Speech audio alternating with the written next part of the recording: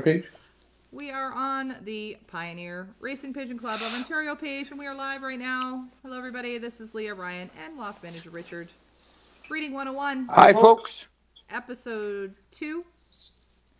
We're going to do it again. Try it again. Are we already at, are we already at episode two? We are on episode 2. Today, we're going to talk about lighting, separating, and nest bowls. Go ahead, Ryan. And we got special guest in the studio today. We want you people that are watching to put in your comments below what you think the special guest is. Towards the end of the show, we're going to bring it up. Big tip, tip, tip today. Big tip today. A little bit of echo, but that's okay. Oh yeah, the echo seems to go in and out. We've got some new audio equipment that we're testing out today, so hopefully everybody can hear us. And if you hear an echo, well, You're going to have to deal with it. we're gonna have to just kind of deal with it for today.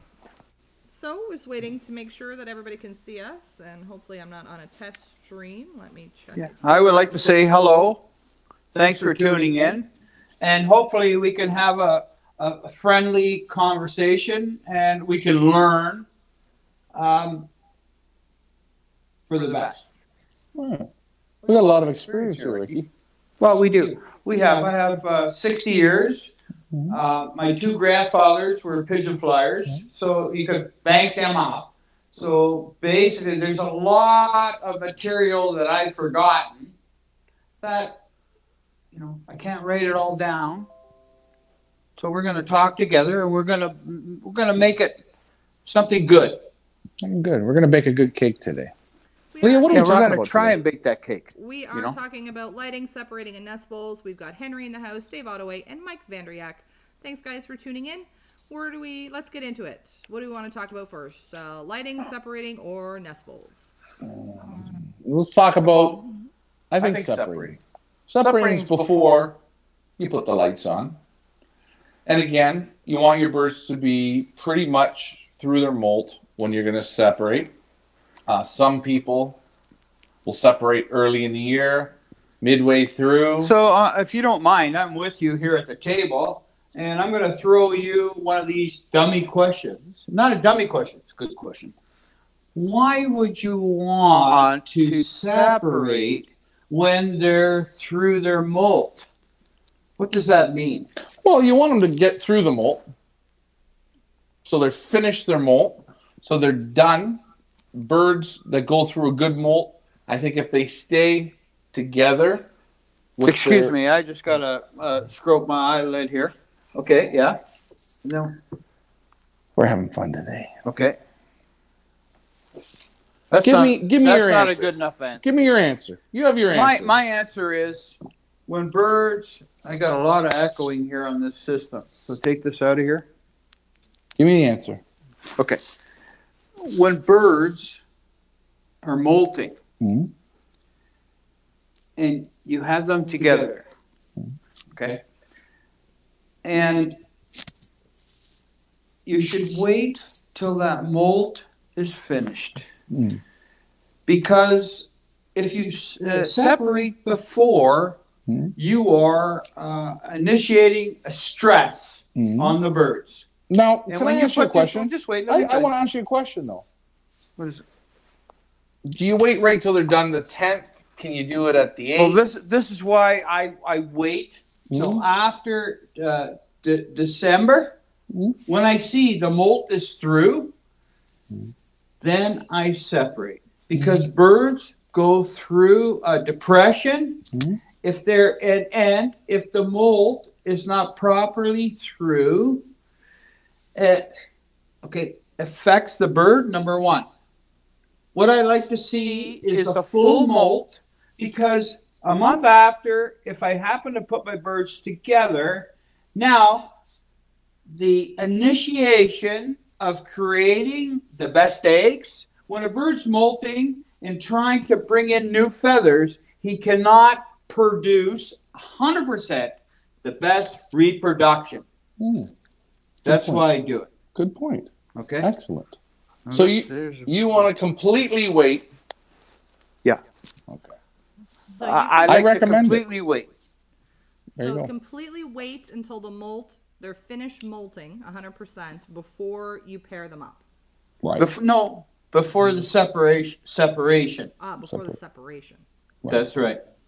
So And you your birds are separated now, correct?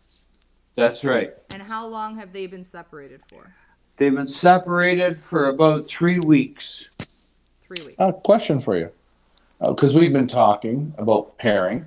Right. Um, I know you have the lights on. How are the birds since you've had them about three weeks or, or a month apart? How are they acting now today? I hear a lot of music. Right. Okay. They want to get back together, right? Perfect. Once they start to hear that music, it's telling me. And for those of us who maybe don't know, when you talk about music, I, I hear, I hear cooing. I hear, I hear. I hear the cocks going. And when I walk in the loft, the hens, when I go to feed, they strut for me. That means like a hot woman in the bar. You right? know what I mean? That tells me they're ready to go. Okay, and I have I have a few questions here because I'm very even though I've been around pigeons my whole life, I'm fairly new at this. Well, very new at this, and very new at breeding. And I'm sure there are some people who are tuned in now who are absolutely brand new to it as well. So the first basic question: When can I breed? Can I breed all year long, or is there a certain time? Like, how does the breeding schedule work? Do you want me to answer that, Ryan? Go ahead, Richard. You're on fire today. I can feel it in you. I, I say, when I got my birds separated and I start to hear the music, I'm gonna go. I'm almost ready to put them together. Now, if I want to, if I want to put, well, I got a lot of echoing on this here. It's okay. Okay. pull it out. If I want to put them together next week, I will. Or if I want to wait a little longer, I will. You know, they're just telling me So you, you do a lot of just watching. So if I say to you, we don't want early youngsters, we don't want them early. When you, would you still separate them? Oh, I would separate them, and uh, once the molt's finished, You separate. yeah, I, I'd separate, and I wouldn't put the lights on. You wouldn't put the lights Till on. about three weeks before I want them, want to put them together. And if you guys are listening and you hear him, uh, Richard here, talking about the birds groaning and cooing, he separated them. He had them, I think, separated for about a week. Then he turned the lights on, and now we're at about three weeks, four weeks. The birds are groaning. You go out there, it's music, music, music. You see the hens even on the the ledge of the window. They're strutting across. Well, in their separate section. Right. So basically, Richard, what you're saying is when the birds get through the molt, and I mean, again, if you have 25 or 30, 40, Can I 50 stretch my eyelid here? Thank you. Good. Hold on. There you go. There you go. Perfect. okay. So you lost my train of thought here. When 95% of your birds are done the molt, separate them out. Okay? Separate your hens, separate your cocks. Always leave the cocks, I think, in the section on where you want to breed them for the following year. So they have their nest boxes Oh yeah, hundred percent. Right. Yeah. so don't don't put them in a section with V perches and pole perches and No, they should have their boxes. Yeah. and, and let them get their real estate, be comfortable, uh, know their box. The hens, yeah, you can have them on pole perches, V perches. Well, you should and, in their sections. Yeah. Right. Don't don't don't have the hens in nest boxes because what'll happen is once they get ready, they they I, I should say that they could want to mate. Yeah, they queer up. That's right. That's right. Queer up. That's uh is that a- Well, a, good, good word it's to the term use? we're right? using today. You know, It's a good. It's wait, like hold on, if you hold said on. I was a queer, would that be wrong? they queer up. They- Anyways, moving naturally they will want to go together. That's So- right. Right. I have and another- they're I have- healthy. Go ahead, Leah. I have another question. Klaus, thanks for tuning in. Um, Is it the same pairing all season long, or this is probably another dumb question, but or w- can you switch them halfway through? Well, you can Oh, switch. half, halfway through, well, you've got to, uh, you've got to take the cock out. Act, uh, because there's gonna be a problem there. I, I, I think it's a real easy way. If you had two sections, you have maybe eight cocks in one section, eight cocks in another sec- section, and you want to switch, switch some of the matings. You take hens from one section, move them into the other. Yeah. a little bit good- easier.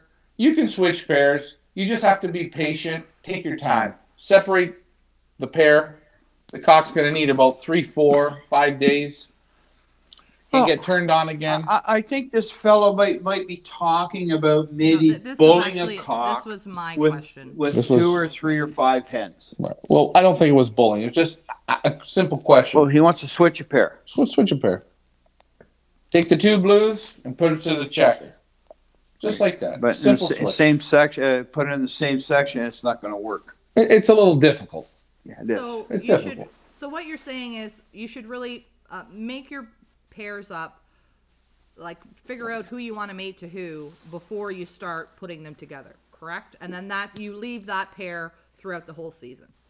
I. I would think that's the right way to do it. I don't think you should go and say, well, that cock and that hen, well, I'm gonna have two, two rounds of young ones. And now I'm gonna take, uh, take the, I'm gonna, if you wanna take the hen away and put a cock, put, put, put that, put another hen in with that cock, okay, that's gonna work It's easier. slowly. But, uh, that's the only way, I, I, I would think. You're going to leave your cocks where they are, and you'll add a hen to them. okay. Take the other hen away. Yeah. So you take take the hen away, add another hen in, you're okay. But Get- you're not going to take the cock, put them in a new section with that hen. Doesn't doesn't work as good. Okay. No, and I, I, I think what they got to, I think what they, what what we have to do is we have to, we have to start all over again with that cock. If you want him to go with another hen, Right. put her, put him back in the box. And he has to flirt with her on the ledge and Yeah. whatever, right? So you basically have to start right from the beginning. Sort of. Okay. So we have some comments and questions, which I'm going to get into now from Henry. Henry asks, uh, when they are separated, are the males able to see the females and vice versa, or is it better that they are unable to see each other? Better that they are unable. Yeah. And if you do have them separated in a loft where uh, you can't take the hands away, uh, uh, put uh, put slatting up about maybe maybe three feet off the floor with plywood down on the bottom, so they can't uh, communicate, and have the perches for the hens on the uh, far part of the wall so they won't be able to communicate. As much. That's right. Right. You know, you you, may, not have two lofts. So you're you're you're kind of in a in a it, like I like to take the hands right, out, put, them in a section where they, don't, even see them, they don't hear them, nothing. Okay. So if you can't do that, have sl- have sl- uh, what do you call it? latting up or dowling, and have maybe about three feet off the floor, and nowhere that the hands or the cocks can sit uh, along the dowling or the uh, latting to communicate. That's it. Oh, very good. Very good. Good question and uh, really great answer. That was a good Um, answer. I agree. And Dave Ottaway, he has joined in here. We've got a comment from Dave. Dave says, That's what I do. I leave them in their boxes all year. I separate as soon as I am done breeding. It's better for the molts. The feathers roll off faster without the hen, just my way. There you go. Perfect. Another way. Okay, so we've discussed separating. What else do we need to know about separating? Mm, I think that's pretty much it. How long are they I mean, a- separated a- and again, a, a How long? good time. How How long are they When- separated for again? Oh, I, I separate them for at least a month and a half before I want to put them together. he does about a month, and Month. a half. Month and a month and a half. Yeah, I vaccinate them. I know. B and salmonella. I know some guys do separate earlier. Again, there's different ways to bake a cake. Uh, I've seen guys, like Dave says, he separates as soon as he's done breeding. I've, we went to places in Europe. They leave them together three weeks before they're going to start pairing. Then they separate them and they do more like what you do. What I believe, if you st- separate at, at the end of breeding, birds are going through their molt. Hmm. Okay. And when you do that, you create stress between, the pairs. Okay? It's, like, Right, okay, uh, it's we, like, we, uh, got, it's, we got it's like a man and a wife. All right, we got that. They separate. Right. You got depression, Right. stress. Okay. And try and keep everything as natural as you can till the end. If you keep the pairs together, cut back on the feed, cut back on that energy maybe to reproduce. Hmm. There you go. Very good. I don't know. Good How about idea. Lighting. Should we, let's talk a little bit about lighting. Ooh, I like long- lighting. Um, pardon? I like lights. People make a lot of mistakes with the lights. I think. I think they do. Well, I say I say lighting. Okay, some people say, guess what? I put the lights on. I'm getting a lot of echoing out of this, but I put the lights on uh, from October or 24 hours a day. Hello. Yeah. Yeah. No, I got no echoing. Well, that's good. Carry Whatever on. you did. you there? Yeah. Yeah. I'm here. Can you hear me? me? Yes. Perfect.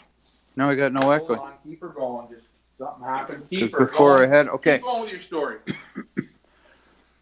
And some people say, I keep the lights on 20. Now I can hear it from there. Hello? Yeah, we can hear you. Okay, I can hear you. Okay, I keep the lights on 24 hours a day from uh, October, let's say, right till April. Yep. Well- can you hear us? Yeah, I can hear you fine. Yep. No, you sound real good. I got no echoing. Oh, there you go. Perfect. Go ahead. Okay. Uh, you know, I believe that Oh, Leah, there's an echo feedback on your thing.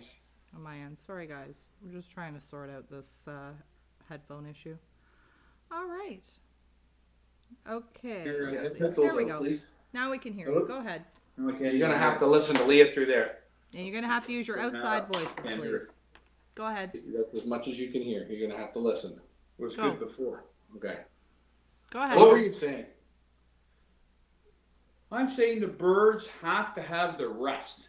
Keep that lights on 24 hours a day or whatever. They have to have their rest. Right. So you don't think when you're going to put the lights on three weeks before to a month before you want to start breeding, Yeah. you don't.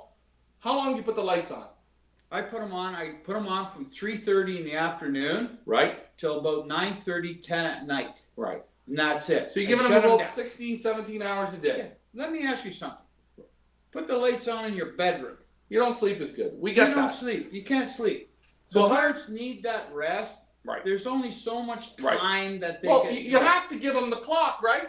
You got to give them the clock. You put lights on 24 hours a day. There's no clock. That's it. That's right. Right, Mother, Leah? Mother, Right. Mother Nature turns a light on in the morning, daylight. Right now it's about what quarter to eight, and then shuts it down around four thirty, quarter to five. That's it. Now let's just make sure. So Leah, Leah, can you hear us? winter light. Yeah, we can light. hear you fine. I can hear you fine. I can So what you're basically trying to do is, I'm assuming you're trying because Can I you don't really turn know that up? myself. Just listen. You're tricking them into uh, thinking that it's, it's springtime, the days are getting longer, and it's time to mate up. Correct? That's that's correct. That is right. That's exactly what you're trying to do. Yeah. You're, you're trying to tell them that it's springtime. Now, if you were to just leave the birds regular Right. around, what would you say, around middle of February, as those days slowly start to get longer? Well, let me tell you something. I know some people that have said, you know, Richard, the chemistry in the reproductive system is different to from one bird to the next, mm-hmm. or from any animal. Right. Okay. They say, well, I put my five birds, five pair of birds together, and they didn't put lights on. And I got two pair. Man, they're down on eggs. Perfect. They separated them, Right. put them together, down on eggs. Perfect. The three pair. No, wait. I'm going to go three pair went down on eggs, but two pair, I don't think they're mated. They act like they're not interested. I say, wait, did you put lights on? No, I didn't. So right there, I think that can be your problem. Right. So Right. We, we're recommending if you are going to breed early, give them the lights. You're going to help out your breeding probably 85%. And the other thing with breeding, you got to use the right light bulbs. Okay? The fluorescent tube lights, you know, the big long ones, when you drop them, they go boof. Those aren't real light for pigeons. These squiggly lights, you see them? We don't like using them either. We like to use the old cheapy right here, Canadian Tire, 60, 60, what is it? 60 watt bulbs. 60 watt bulb, natural light, kind of got a yellowy glow to it. Leah, if you put that video on there, you'll see I have the lights on in the loft. It's I- not I- super bright. Yeah, I'm going to put the video on in, in one second. I just have a couple questions with regards to lighting. Um, Klaus has a question, and he's asking, how long before mating should you turn the lights on? How long before mating? Yeah, Three you- weeks to a month. Yeah, about, about three weeks to a month. Give yourself a little more time. You're gonna see when you get past that two week mark, you'll start to see it. You'll start to turn on. You get to three weeks, by four weeks they're going crazy.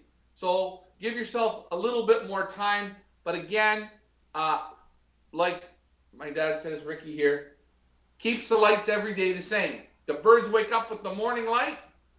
He gives them the artificial light about two hours before it's actual dark. So those birds don't feel Any like kind of- roosting. Way, way Different. more. I go like at 3.30 in the afternoon. Right. Because if you look right now, uh, if you look out the backyard, around 4 o'clock in the afternoon, birds are already Roosting. roosting. So you gotta have So- the so lights you've on gotta- you- before. You've got to do that before. Yeah. Do it around 3.30 and keep it on till 9.30, 10 o'clock. And, and now my, uh, what you said to me, what, uh, something there, I forgot I- what you said. But I can repeat it. Say it again. What you want to do is be consistent with the time. That's right. It's the same thing as darkening pigeons. You don't darken them half the week from morning, then Till the darken them in the evening, afternoon, then switch them halfway through the week. You don't reverse. Pigeons like the system. That's I believe. right. So keep the system the same.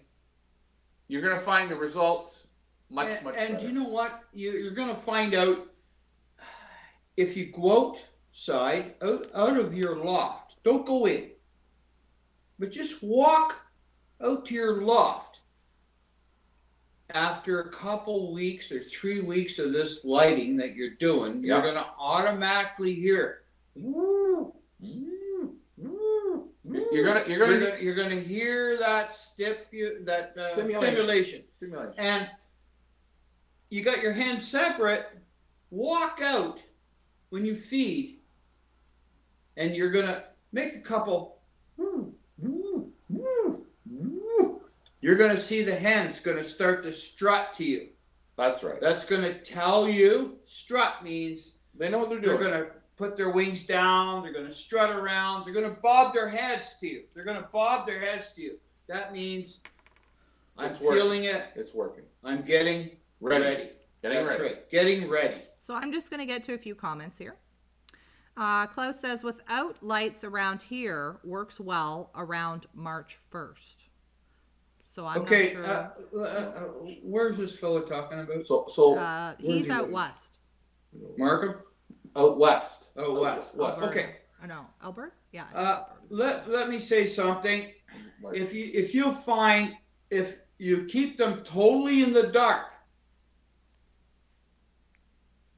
Around the 15th or 20th of January, the daylight starts to, we get uh, what, Extend. 10 or tw- two, 10, 15 minutes more daylight? Right. it will start to generate the process. I've, I've, I've tried it in the past. I had a hen one time. I left her in with about 10 cockbirds for an experiment. And I thought, let's just see here. I didn't take her away. I guess she's going to be laying eggs all winter. 10 cocks. They're anxious. Okay. Yeah. And all of us, like, I'm just saying, uh, Okay, so what system, cut back the feet. How many how many rounds did you get out of that No, just wait. Okay, all of a sudden, things shut down with my feed control. Right. Right, And the lighting. they had no light. Okay. Just right Right. around the 15th to the 20th of January. Right, Boom. all of a sudden, bang, that hen, she went down on eggs. So, I mean, it'll actually start around that time. But I, I was expecting, because I left her in there purposely Right. for the summer Yeah. to the end to see what would happen. And all of a sudden, she shut down about, whatever, October. Yeah. That cocks never chased her. Nothing. nothing. But but around the, the let's say the fifteenth, twentieth of January, Boom. bang, she went down. And and So that doesn't mean that if you're gonna put all your hands in at that time that they're all gonna go down. no. So won't. so if you put ten hens in there, maybe you're gonna get six or eight go down. The other three or four, whatever pair, uh, You- what you- you're gonna wait. you got to remember, you had one hen in with ten cocks. There's going to be one cock that's a little more crazy and a little more push happening. But I, I we got a question. believe it or not, in that section, Yeah. I thought these cocks are going to be chasing that hen. One, this guy's going to chase her. This guy's going to chase her. They're all going to chase her. No, everyone went dormant. Fire away, Leah. Uh, look at it this way: robins go south, but we got doves hanging around here. Right. They don't lay eggs down. The blue jays don't lay eggs down. Right. You know the little Well, uh, it's, whatever. It's, we're, in the off, we're in the off season. It's the Well, it's the foraging It's season. because of the light. It's the light. Yeah, that's Light, right. right? We don't we don't see roses outside now, do you? No, There's you no light. That's why. But- Go ahead, Leah. Uh, know there's just some um, comments here, so I was just posting up the comments so everybody could read them. I can't really hear Um, the. But yeah, Mike uh, Vandriak says that uh, it's a great topic. In my opinion, managing the light cycle is extremely important in both breeding and racing. Yeah, and, and I think uh, what we've learned through the years are pigeons in general. They're not light switches. If you want to win or you want to be successful in pigeon sport, have a system the whole year long. Have a system. Keep to a system. Follow a routine. Follow the feeding. Follow the lighting system. Following your training. Watch your pigeons. These are all things that work together. And it's called leaving, what are they saying? No stone unturned. And it's the guys who win, the people who do well, less stones, they leave unturned. I'm just saying. Yes. I I right now Well, I'm gonna get them ready right. to go down on eggs. Okay. Because I want a little bit earlier round the young ones. Right. Okay. If I was going to say I don't want to put them together till the first of March, Right? I wouldn't go with the. I won't put my lights on You're right going now. to leave everything dormant. My, my pairs are separated, Right? right? And then about the middle of January, you're going to start to hear the cockbirds. You're going Right. to start with that little bit of light going. But if I want to motivate so I can get young ones, everyone down together, You're going to put the lights. I got the lights on. And right now, I'm thinking about putting my birds together. Right. Right. Believe it or not, I wanted to do it a week ago, but I didn't. But the lights are on, so they're ready. They're getting ready to go. Ready to There's go. nothing about nothing wrong with being ready. Well, no. You know what I'm You saying? can't rush it. Well, you can't rush it, but they're ready. My They're ready birds are ready right now to go. I'm going to have an early pair. I had pairs last year. I didn't put them together till the first of March. I got four rounds of young ones by what was it? The end of April. Yeah. Out of that pair. You did some switching and moving, and the Well, pair, the babies came out good, and that's great. We're, we're going to talk about switching. before about taking young Right, ones. we're, we're gonna we're not getting onto that today because No. boy, that's one hell of a long road to get to. Leah, No. you have any other questions there? Um, no other questions. Got lots of great comments. Thanks, guys. The thing I want to say, I want to say one thing, and I'm going to butt in here. I appreciate Mike Vanderyak, Dave Ottaway. Uh, they've had pigeons for years, and this these questions are so great, They're good. or answers are so great because the beginners uh, it helps them to learn.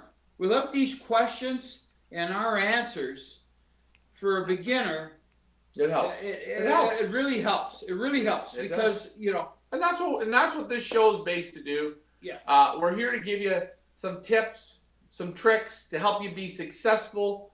Because you know what, a lot of years, you, you, you know, people make mistakes. They can never figure it out. And why didn't somebody tell me?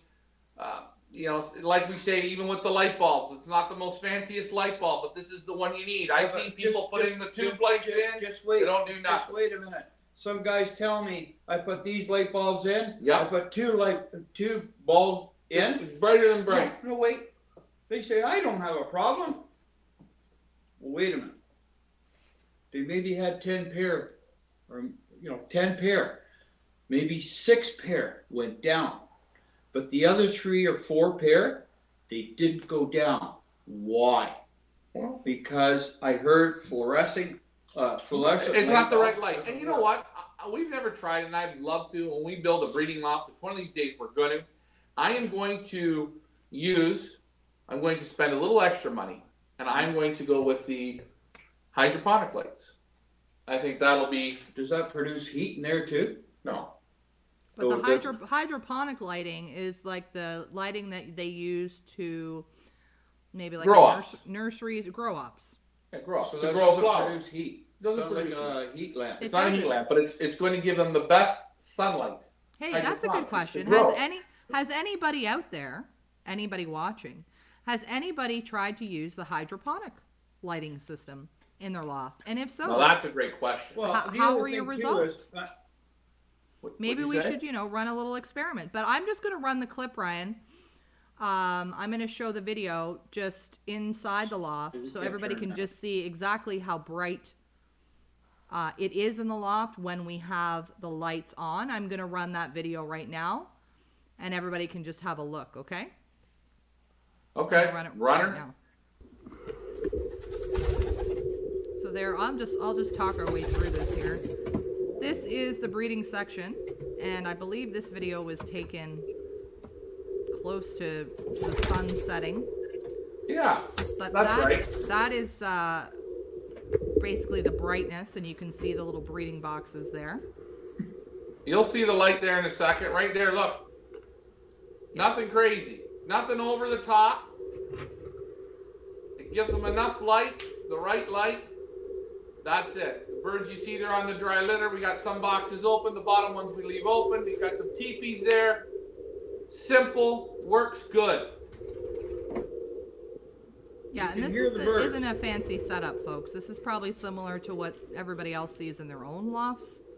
Um, but this is just to show how this kind of lighting, this kind of box setup is very effective. It's worked for Richard and Ryan for years and years and years. But that's just a little brief glimpse into the breeding no, I mean we we did This- this. At, Uh, at, this was at this was nighttime. at nighttime. Can you hear Can me, you hear me, Leah? Yeah, I can hear you. Yep. And uh, I have a, a. Just wait. Does this work now? Just put it in your ear. Which one? Just put it in your ear. Hello. There we go. Just go put it ahead. in your ear and listen. Hello. Yes, go ahead. No, it's not coming through. Okay. Go Okay, ahead. one sec, folks. That's fine. Go Okay, ahead. just talk, please. Okay. Uh, we went in there at, uh, it was at nighttime and I have a, a large fly pen uh, out there, and the most of the birds were out in the fly pen. Like if you want to go out there right now, Ryan, Right. You could go out there right now and just don't disturb them, and they'll all be sitting inside. Right, they'll all be sitting inside in their boxes, and what we're saying is, it don't have to be summer, summertime bright lights. Put a put a sixty watt light bulb in, you got it. That's it. Let's not let's not overcomplicate this wheel here. Simple, Yeah. right? Leah, you there? I'm here. Yep, I'm just re- I'm just taking a look at the comments here. Uh, Dave I, says that. I, I love the questions can you- coming in. I Can really you, like. Can you let Leah ask the questions? Dave says I use all tube lights and had 98% fertility rate in the last four years. It works for Dave. So all two. yeah, the tube ones. So that, Larissa. I mean that's great. I guess uh, Yeah. maybe Ryan, I've- you, I've you never guys had got luck wrong with- You've not had luck with the tube lights, right? No, I didn't even have them when you when you turn them on for for the darkening. The birds seem to keep molting through. I, I we like these little cheapies, man. They work. They seem to work great. But again, I don't know. I don't know if you can get tube lights that are natural light. And if you do, if you need can, something like this. yeah, something like this or, or those tube lights. You just want what's it called? Natural light. Natural light. Natural light. And, and if you find the bulbs that are natural light, great. I know those LED lights. I don't think they will work at all. If you're sick, you want to save on hydro, I don't think LEDs are going to work for you. Um, Klaus I says, let me just uh, put his comment up. Uh, he says tube lights are available with a natural light spectrum, so you can. There you get, go. There you go. Right. So you, you absolutely can get the tube lights uh, now that we know with the natural light, and it's working for Dave. So there's another option. Get the tube lights with the natural light. Try those. If that's not working for you, then show that light bulb again there, Ryan. That little cheapie that uh, literally you can get them anywhere. What is what's the wattage on that? You can get them 60, 60 watt, watt. 60 watt bulb. And, and, and, and you want to put a hundred, go ahead. you want to put 100 to make yourself feel better, you're great. We put one of these in a, in a, in a 12 by 8 section. One. More than enough. More than enough light. And, and again, if you find those tube lights, like Klaus said, they're going to work for you as well. So we got uh, Mike, Close. Klaus, Close And Dave. and Dave. Uh, and A lot of good questions Wait. here. they've been in pigeons for years. Yep. And they have good questions, not good questions.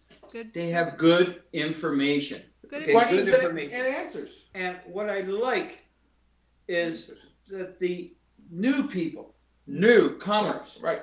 Are please listening Yeah. Yeah, to exactly. to the to us. So we're going to move on. We've now talked about lighting. Let's move on to nest bowls, nest bowl materials, and some options that you guys can use in your breeding system. We, we, we've got we've got the old standard, your clay nest bowl. Okay, these things are great. They're heavy. You break them, they break easy. A lot of people use these. Again, you're gonna see this one. This one hasn't been cleaned out at all. And again, we're gonna talk about why that is. But this is your first option. Do you want to talk why? What what, what I like in here is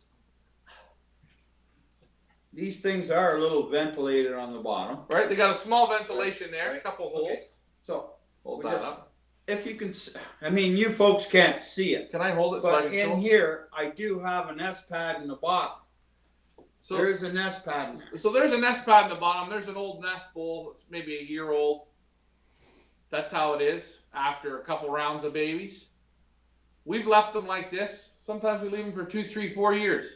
Nest bowls like this. They'll add straw to them. Good old nest bowls. A lot of times you have to watch out with straw because if you get pairs, they'll just keep building up, building up. Next thing you know, they're Mhm. they're they're they're knocking it off. The straw is falling over. The eggs are going out. Right. In this bowl here, I'll put. I will put. I'll pick the young ones up. I'll put a little bit of dusting powder in the bottom. Mhm. Right. To stop any, uh, Right. you know, lice or whatever, mites. We, we like normally a, don't have like that a louse, problem. a louse powder. Low powder, yeah. Louse powder, yeah. Old nest bowls are great. Again, if you go under bridges, you go in barns, pigeons don't get these things cleaned out. Uh, you can leave an old nest bowl. There's nothing wrong with it. it has years of what you call success. So let me just see something. Eh, eh. just one sec. Guess what, guys? No I smell don't pigeon. smell no pigeon in there. Back to what I was saying. Do you want to smell it one more time, just for the audience? Sure.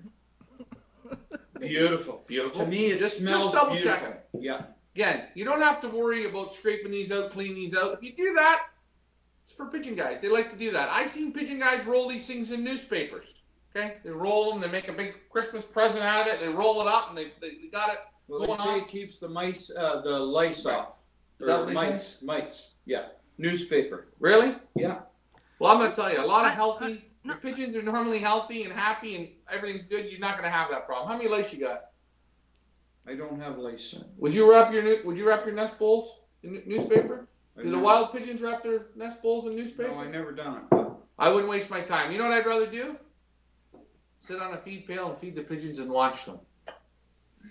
But there's option one. That's option one. That is a clay nest bowl. You know what I do with those bowls? Before breeding, I may take the bowl and just turn it over in the nest box. Yeah, box, tip it upside down. tip it upside down, and the hen, if I put the hen in, We're not talking about once I introduce the Yeah, cock, We're gonna show that on another show. Right. But that, that's good. Put that over there, please, Ricky. So that's option tangerines, one, that's a good. This nest is bowl. this Time of is this is his absolute favorite nest bowl. You get them at Christmas time. These are the best. They're really good. Or if you drive around after Christmas, You'll find it. people are putting them out in the garbage. Just pick the Those darn things up. what are those? What is that, Ryan? Just in case anybody. They're doesn't mandarin tangerine boxes. Tangerine boxes. They're cheap. They're inexpensive. Well, you get tangerines You with it. get you get tangerines with them if you buy them. If you ask your neighbors, they'll probably give them to you. If you go surf through the garbage on Wednesdays, whenever your garbage day is, you're gonna find see them. The other thing too is take a look, people. Ventilation on the bottom. ventilation on the bottom. So Another w- thing, now again, we've talked twice about the whole the ventilation. Why is the ventilation in a nest bowl or a nest box or where they're nesting? Why is that so important? Very important. Yeah. Why? Okay. why? If you go in a dove's nest, Right. find one, or go in a pigeon underneath a bridge or in a barn. They got pine needles, those long pine needles, right? Twigs, twigs, and it's all built up, and it's all ventilation. It's all layers. It doesn't heat up. Uh, you know, don't put hay no, in there or wet grass. nope. Don't do that. You go with Right. pine needles. Go with straw. Straw. Little some weeds. You can cut down the dry weeds. That's good. That are right now. Right now we got the weeds. They're like this high. Yeah. Cut the tops off. Cut them into pieces that are about six inches long. Boom. Bang. Put them down there. Again, some guys use those uh, tobacco. Uh, that's expensive, but you Tobacco can use sticks? that. Tobacco. Yeah, sticks tobacco sticks. And what's real good is if you're into this newspaper rolling thing and you're worried about lice and stuff like that, and that really bothers you, just use pine needles. The bugs hate pine needles. You got to find those pine needles that are about that long. The nice And soft you, ones. You see them uh, where, wherever you see them. Yeah. Pull over. Pull over, get Start raking them. rake them up, Put up. them in bags, and that's it. So let's see um, option number three, Option which is three, this is an option obviously that we sell at the coop. right? We got is the a plastic. Go ahead, Ryan. plastic nest bowl, and you're gonna see. You can see my face. You can see my hand in here. Great ventilation in these. What's great about these? They're easy to clean if you want to clean them. They're real, real easy to clean. And what's great about them is, And these here, they snap. yeah, they snap it. We'll Let show me that. Just figure this out. You don't even need that. I'm trying to figure this out. You don't have. You don't need that. Well, That's it- nice that's to show people if they want to put that in. Well, real simple. You put this in. This is a grass nest bowl. Like I say, Loft Manager Richard likes some of the other options. So this actually, I have an S pad in this one, Right. but she's Look. uh, And look at this. she's One right. second. Look at that. Done. You didn't need to take the white So, thing so off. now what we should do is we should get a cigarette and blow through here and show the people the air ventilation. That's right. These But we breathe- don't smoke. we don't smoke. It's a disgusting habit. We don't like to do that. if you smoke, not a big deal. Yeah, thanks, We guys. Sorry, hey, Yeah. Leah, you smoke. You I should do. be here blowing smoke through this. I should. be. Anyways, It's ventilation. It's ventilation. These felt pads are great. You can use them one time, you can use them two times. When they're done, Well, for one buck, throw them out. this has been through three or four nests. Three or four nests. So- There's a felt okay, pad so- in here. That's my next it or question. That's my next left it. question. That's my next question. Do you need to? I guess obviously you do not need to be cleaning this out between, obviously rounds. Well, are you between put- nests? I'm not good at Yeah. No way. I don't clean it out. I mean, We we don't. I mean, and by when you add when you do the the liners and the nest bowls, you can add a little bit of straw to your loft. You don't have to get crazy. A lot of the lofts, especially in Europe, they only use these nest pads. That is it. I put a little straw in the loft For what? to give some motivation, Motivation. right? They, you know what I mean? Gotta love motivation, but We it, it's a have, good uh, thing. I'm just gonna just butt in here. We have a comment from Chris Withers from the UK. He is watching, and uh, Chris says that uh, he uses the tobacco stalks. Now, have you guys tried the tobacco stalks? We, We, we just can't get them here, right? we can't get them. Well, we can't get them here. Oh, Uh, I don't. I think that's probably a good idea. Yeah, I, I, we I, tobacco stalks no problem. The pine needles, or uh, yeah, Yeah, pine needles. pine needles. Uh, again, you'll see the pigeons like the straw, small twigs. Okay, but uh, pigeons pigeons like the motivation, like like you're saying. And if you use these again, guys, put out a little bit of straw. And what what is motivation? Go in there, put a fistful or two of fresh, put it down. The birds will run through it. They'll drag themselves through it. They'll pick up and they'll build their nest. I see some people they take a whole bale and drop it in. You know what? It's overkill. Pigeons are like humans. They like fresh.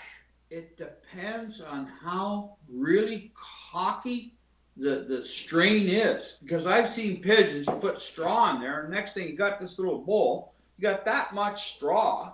And Too it's much. like they can't even get in the nest. That's and then right. the next thing the nest falls over. You So- know, and, and this is what we're saying. So just watch how much you're putting putting out. Uh, again, I think some some some pairs are idiotic, and they build the they build the they build a tower.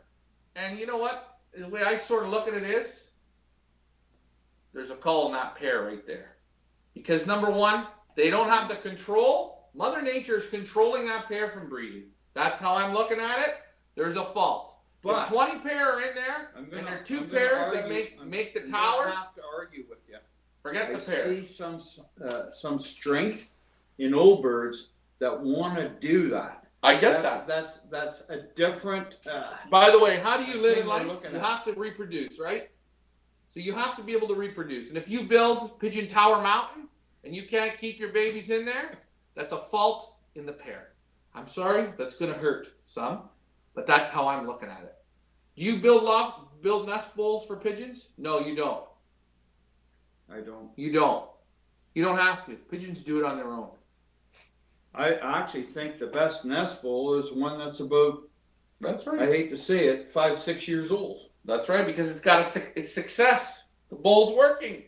This bowl, it sure don't look appetizing, does it? To, No. to the eye, but to the pigeon, there. Look, there's this lazy boy Susan in there. It's comfy. It's nice. I had babies in it Just last year. It works great. twigs to it. That's right. You can add some straw. This is nice.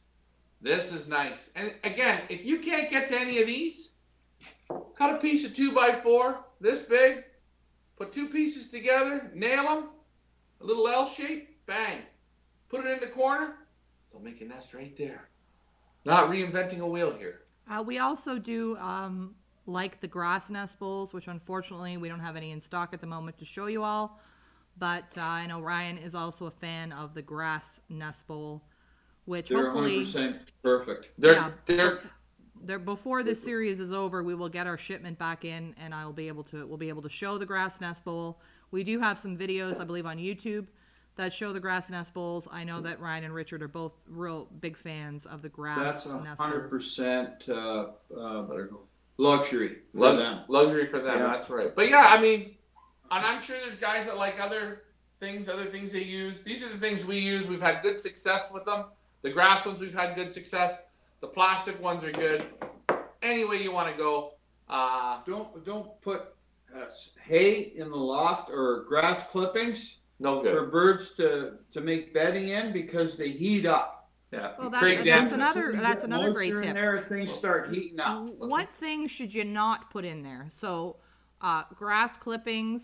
What else did you say? Hay is another no-no.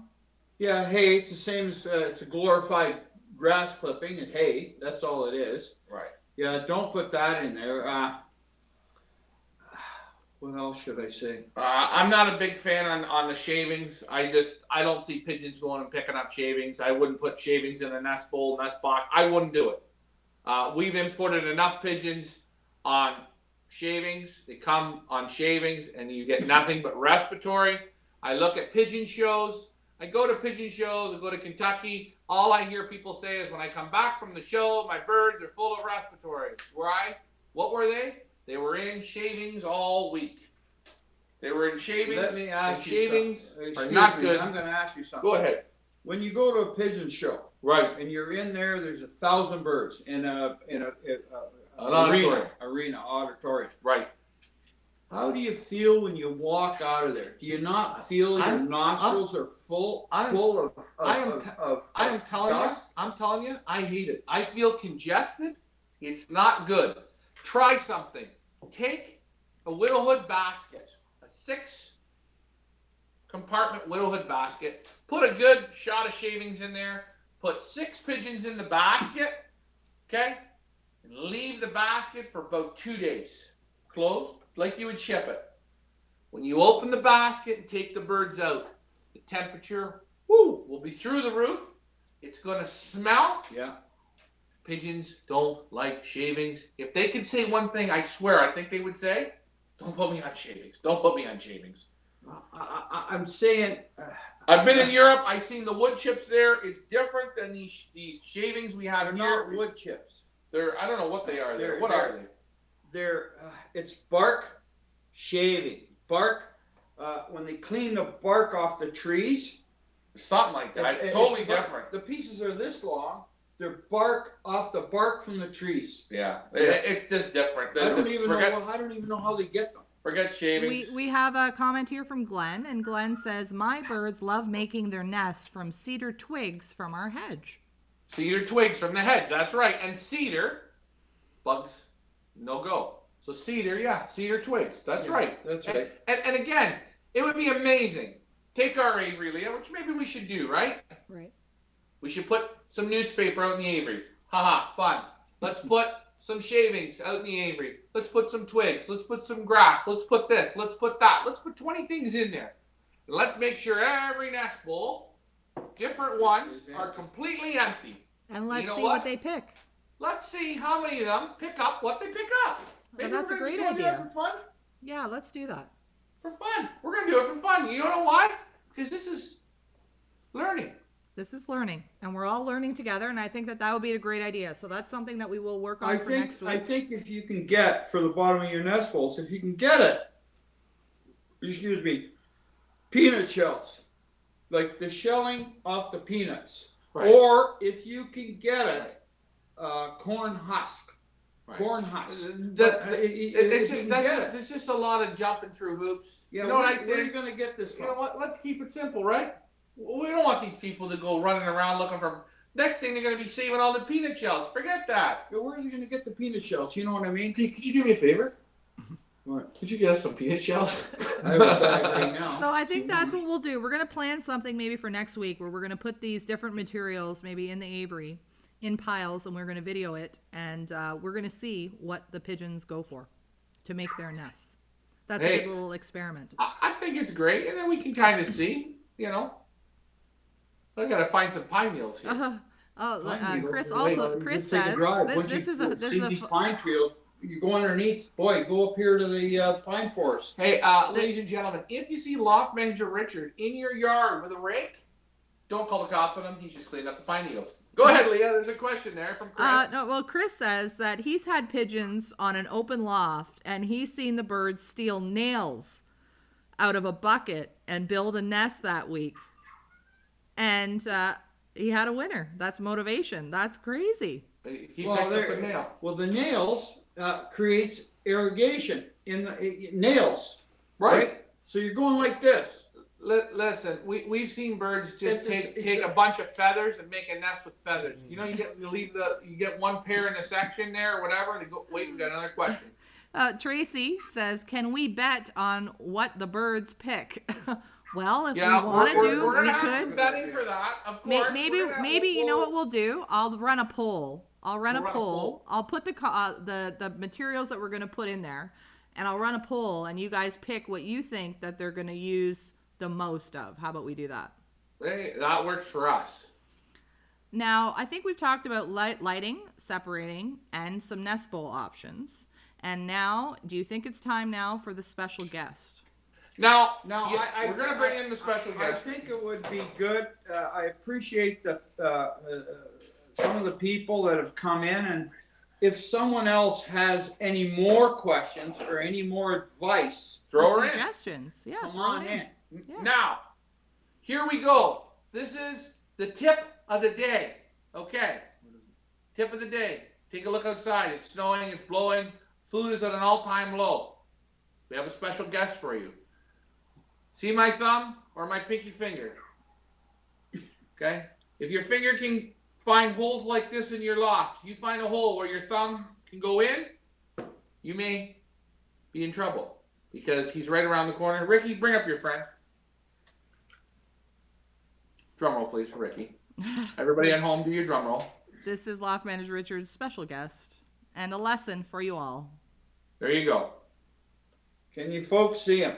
If your finger, your thumb can go in in a circular motion, in, Don't put your thumb in there, boy. don't put my thumb in here, you may get one of these. And when these come into your loft, You're- weasel or mink? You're done. This is a weasel. This is a weasel. You get this in your loft, This is a female. He kills them and he piles them up, and they do it like about this quick. So, there's your tip for today. If you have, if you see in your loft, let's just call a spade a spade. You have mice in your loft? There's okay. Nobody can see you. Raise your hand. Look, I'm raising my hand. You have mice in your loft. The odd mouse, one mouse, two mouse, twenty mouse. This critter can get in there absolutely no problem. And the thing is, this critter will kill all your mice first, Yeah. okay? And then He goes for the pitch. he's going to kill your pigeons. And if you have a loft where no mice can get in, You're okay. but then he can get in, you're done. And what we're saying is, if you have no mice getting in your loft, but you have a nice big aviary, and the cubes are big, big cubes, you know, cubes, Yeah. nice size cubes, and it looks great and it's strong and Can shit, can you, can climb on it. I'm this little put 'em guy will down get in. Right here, I'm going to put them down. So there you go. There you have it. Tip of the day. Watch out. These things get in there. and they look so friendly and so sweet. But Uh, there's the devil. Mike Oh. Vanderyak says that a one inch by one inch wire will not stop them, not even slow them down. Yeah, hundred percent. Mike's a hundred percent. One inch by one inch. Oh Yeah. yeah, Mike. Yeah, that's right. Yeah. So, Uh, so when, I, I, when, uh, Mike, I think you have to go half inch by half inch. Put it this way, guys. If your pinky can't get in, you're you're gonna be pretty much okay. Just keep the wire tight. That's it. And and and I see these people. You, you see them with the wire floors. You go to you out whatever with the wire floors. Those Oh, are the yeah. those are the weasel floors. The weasels just come on up and in. Some places you go they don't have weasels, No. but building a loft here in in North America or, or in Canada at least, do yourself a favor. Use Well- a small wire. You're, uh, you know what? How many times? I guess in the years I've had pigeons, These are real. I, I'm gonna say I've had them sixty years. I've really only had about. I, I'm not lying. ten years of problems. No, wait. I've had about four attacks in that time. So, We- But I'll But be honest. I- I'll be honest. listen, remember, listen, I- remember, remember the time when the, when the when the weasel wiped out about thirty pair down in the barn? That was a fun one. He did it in one night. He was just piling them up, and they, they like to make their piles. And I'll tell you, we didn't catch him in the loft where he got in. We caught him in another loft. We sealed that loft up, and he had such a taste for pigeon, he moved over to another building, and bang, that's where we nailed him. We tried to get him in there, but I've, I've heard one guy told me he had his loft so sealed, Right? like it was like drywall, Yeah. everything sealed with wire and all this. The darn thing got in there. Don't ha- don't ask me how. Cleaned out. He had fifty birds in there. Cleaned God. forty birds out they, one night. they do it in Done. a night. There's the devil. Oh, we got a question. Little Ian's you in the house. What? You hate, you hate to, hate to, uh, yeah, it, you hate to say it, but He's the devil. Doesn't This matter the what you do. He's the devil. and He, he will get you. that thing's so sweet in the cage. Oh yeah. Ian is For asking, what? what kind of wire is in your stock pen, Avery? Uh It's half You know inch what? by half inch. if I were to hold this cage up, It's it's, it's half, of that. this. So I'm going to hold this up in front of the camera. You see those cubes? It's half of that. It's half of that. But you see this here, he can't get out of. But that's the the the the, the I, this cubing here is fine. But the uh, the one we have Go here, by by half by half, like Mike Yeah, said. that's exactly- Um, just let me, sorry to interrupt, but Klaus Petzold says, yeah, half by half inch. That's what, half Yeah. by half. inch. Yeah, that's like, right. like Mike said, one by one cubing, it will not work. no. No. The- the- the- these things they're, they're they're just like we say if you got if you have mice if you have a mouse in your loft it's not the end of the world. Please just it's not. But if you have mice that means these can get in. And, so and it, it is a kind of an indicator. It's an indicator. You know what? In your hallway your loft you know what I want everyone to do? In your hallway your loft put about 10 pieces of corn in the hallway and let it sit there. Just leave it you'll find out if we have any mice right Oh, look, I got, out of 10 pieces, I got four. I know I have mice in here. So if you have a mouse, you have a weasel. Once he gets hungry, But he digs a little deep. don't mind me saying, Go ahead. it's so hard to keep mice out. It's hard. The only way I would keep mice out, you want to build the loft perfectly. You gotta go Okay. wire around everything. Wire on the floor, wire up the walls. I know. Uh, half inch by half inch, wire all the way around. Basically, you're making a, open. basically you're making a Christmas gift before you plywood your loft. Yeah, that's right. And and and you know what? Is it possible to do? No. Again, if you, It's almost impossible. it's almost impossible to do. So we're just saying, if you do see, I see. I had one guy told me his loft was like a his house. I know It was drywall. that was all Listen, sealed. every house has And mice. the weasel got in and killed forty birds. I'm scared to go to bed tonight. Leah, what are we gonna do?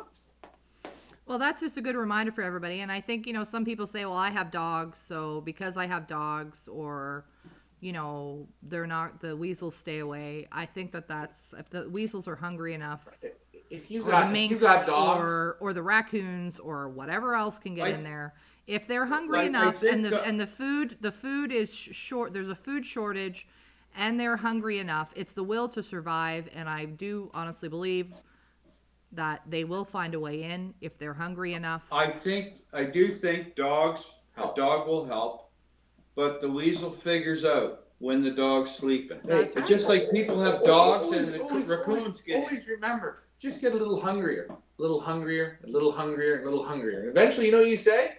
Forget the damn dog. that's i gotta I'm live eat. i gotta live i have to survive 100% so Yeah, that's a good lesson for everybody uh, you know richard and ryan their lives they think are fairly secure and uh, where did you catch that little guy Where'd you catch him? Well, we- we have we have a whole, one of our holding lofts where we got some of our Icelandics. We got them on the on the ledge there. We always keep we always keep a Let, let me say something. trap I've set. seen, believe it or not, guys will say, "Ah, I don't keep light. I don't. I don't let mice in my loft. I have no mice." I seen one time in a loft. We had four sections in there. yeah. Honest to God. The birds, I'm feeding the birds, the birds are feeding. I seen a, a weasel Yep. running along the wall. But here there, the weasel, there, there he is. He's oh my squeaking. the goodness cat's bothering him. I seen the weasel running along the wall between the sections because we had the you The know, lats, We the had the lats. between the sections. The He's going along the wall, Yeah. along the wall, with a mouse It is. It, in, his In- in his mouth, and my birds. Yeah. Listen to this one. My birds were eating like it's like this is normal. They, they weren't because the weasel had no attack on them yet. And what we're saying is, if you see your mice You have no. You and have you no, have you have no weasels, but you go all of a sudden, shit! I used to have twenty mice. You know, they run down, I throw the feed, they're there, they're with me, they're happy, they're part of the team. Yeah. Hold on, If you see the no mice, are gone. What's going on? The, the next morning you wake up, you go in there and you see Pigeon Mountain. Guess what? It's like it's like remember when you played Nintendo? Boom, boom, boom, boom. You don't know. And you know what? The problem with these little guys are? They don't care about pedigrees or nothing. They always go for the most expensive ones. See that bird that's in there? yeah, little baby. He baby. ate half of that thing Yeah. today. So there you go. That is our special guest, and we hope That's- today that's the- on the- on. I'm gonna wrap this up because we've been about an hour, and I'm sure everybody needs to eat dinner or do go to do. Yeah, we're having a good time. But uh, thank you guys so much for the interaction today. I think it was a very educational show. Sorry about the audio issues at the beginning, but I think now we're starting to find our groove. Uh, this is Breeding 101 with Ryan, myself, and loft manager Richard. Episode 2, where we talked about lighting, separating, and nest bowls. If you just caught the broadcast at the end of the broadcast, not to worry, folks. You can always watch the rebroadcast on Facebook, or I'm going to upload it to our YouTube channel. Feathers Elite Pigeon Auctions. I've created a special playlist for all of our breeding videos to help you guys. Everybody, thank you guys so much for the feedback, everybody who tuned in. We hope this is helping. I'm not sure when we're going to be on next, Ryan, because tomorrow is New Year's Eve, I believe, isn't it? Yes, it is. So I will do a post when we're going to go live again. If you guys have any suggestions on what you'd like to talk about in the next broadcast, or some questions, or tips, or topics that you want to address, uh, post them in the comments or send us a PM at the Pioneer Club on Facebook, and we will absolutely talk about them. We're free and open to talk about whatever it is that you guys want to do talk about. I think Yeah. that's it for me, Ryan. We- uh, go ahead, We're, Ryan. we're, we're good. We're going to be back. Maybe we'll be back New Year's Day. Maybe we'll throw something together. Uh, again, we, we're going to be getting ready here to pair up. So you're going to follow us along there. We're going to pair some certain pairs up. We have an individual pair we're going to be doing. Uh, and we're going to do some love pairing. And we're going to talk about that, I think, on our next uh, broadcast. Sure. Um, and again, guys, with your pigeons, I, I really appreciate the uh, support. the, the experienced pigeon flyers yep. that are coming on And helping and, the show. and, and and asking questions which they probably know the answers for them but they're answering they're asking questions which is which is uh, communicating an education for for for uh, uh, inexperienced pigeon keepers and remember, you- you're never, you can't- are never too old to learn. yeah and you cannot be a pigeon flyer until you are pigeon keeper That's right. understand that and So, that's hey, what okay. that's what we're trying to do here with this show, folks, is to just kind of educate and help everybody along and create a little community where we all help each other. The older fellows and girls helping the younger fellows and girls out and leading the way and hopefully to make this sport great again in this country, in North America, and worldwide. I think that's it. I'm Leah. That's That's, it. Ryan. That's a- Hey. 100% Guys, go to our YouTube channel, Feathers Elite Pigeon Auctions. Hit that subscribe button. That's all we ask. Ricky, show two. Okay, I, I want to say I want to say show I want to say one We're one thing. wrapping it up. We should, we should we should pull a draw Pull a draw. between the, the, the four people Four people. that came in today. Okay. Put their names in a in a box. Okay. We will pull it. What are we gonna pull? Oh. Whoever gets the name pulled out, we will ship this guy right to your house. Right. You know what? Or There we'll have, what, Hoover him. Or Well, have you know what? You know gonna what? Do you know Yeah, what? we're- You know what though, put 'em in Richard? there, You know don't what even though? Know it. We get a, a drill bit like about this big. No. little hole inside No, your wall. honestly, you no, Dad, And honestly. To be honest, I think that that is a great idea. I think what we're going to do is we had so many good comments and questions. Everybody who commented and questioned on today's show, we're going to put their names in the draw in a in the barrel, and on the next show, we're going to pull a name, and they're going to get a something, a, a gift from us for your Hey, participation. Leah, Okay. these, these brand new Pigeon Boss hats, I'm going to tell you, I think that should be the gift. There you They go. come black, white, or pink. I think the pinks are great. I'll have a pink on the next one. Hold on, just leave that, Ricky. Just leave it. That is what we're going to do. We're going to take down everybody's name that How do commented you, how do you before. guys think? How do the you pink people one. think? What? Leah, talk. Really gonna take my thing off here? There you go. How do you like that, boys? I like it. That's good. So that's what we're gonna do. I'm gonna take down everybody's name that commented while the show was live. We're gonna put them in the barrel, and on the next show, we're going to draw for a Pigeon Bot hat, Pigeon Boss hat, your choice, pink, white, or black. There you go. I'm Leah. That's Ryan. I'm Ryan. That's Richard. As we say, And- and the, other, the other thing I'm gonna say, we're, Oh, we're ending. It's done. that's a female. right? If I get a male, We'll bring I'm it and gonna put it in a cage Okay. and put the pair to you. Guys, All right. if we don't end this, he'll be here all night. Thanks for flying with us. We'll see you on episode number three. Enjoy those pigeons, and remember, don't overthink. Turn the lights on. The other thing is Let the good times roll. Leah, wrap it up. We're done. Happy New Year, Happy New everybody. Year. Thanks, Bye. guys.